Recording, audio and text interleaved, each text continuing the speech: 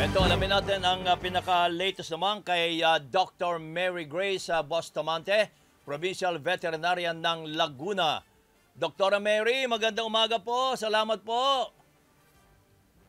Hi, good morning po, kabayan Noli. Ah, magandang umaga rin ho sa mga nakikinig sa inyo. Opo, ay kumakalat na raw po sa Laguna ang uh, naturang uh, swine fever sa San Pablo, Calamba at Nagcarlan.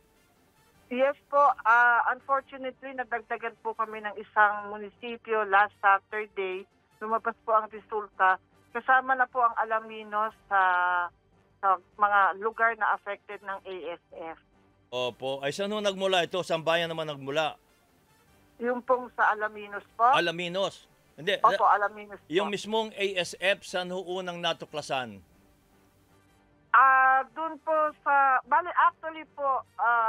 Kabayan yung yung affected farm ay ano po ang may-ari po ay nagka taga nagkailan so Yun. parang tao tao ang nagdala sa nagka, sa Alaminos. Opo. Ay ano na po ang ginagawa natin para hindi na kumalat, ah, doktora? Actually, kabayan, ah, last week ko namigay na ho kami ng disinfectant at saka vitamin mineral premixes ah, sa lahat po ng bayan at syudad ng Laguna.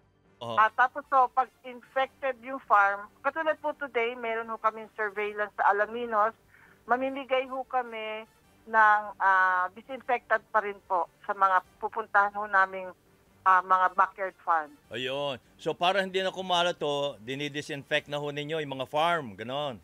Opo, at saka po, meron ho mga checkpoints sa certain Yun, yun, yun, yun. municipalities po dito.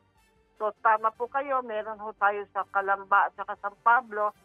At meron na rin po sa inland, ah, Rizal, Mahayhay, Santa Cruz. Ang Santa Rosa meron din po. So far yun pa lang ho naglalagay. At saka po Santa Maria. Opo. Ito ho ba yung Opo. unang pagkakataon na ang probinsya ng Laguna ay nakaranas ng ASF?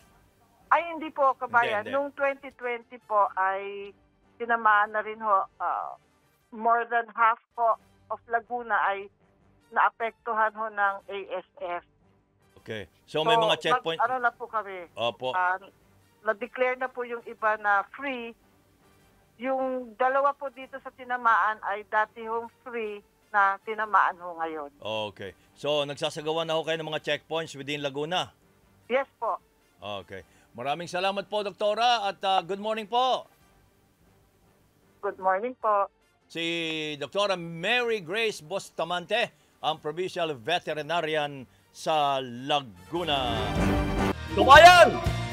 Subscribe na sa Teleradyo Servisyo YouTube channel para po sa mga nagbabagang balita at talakayan.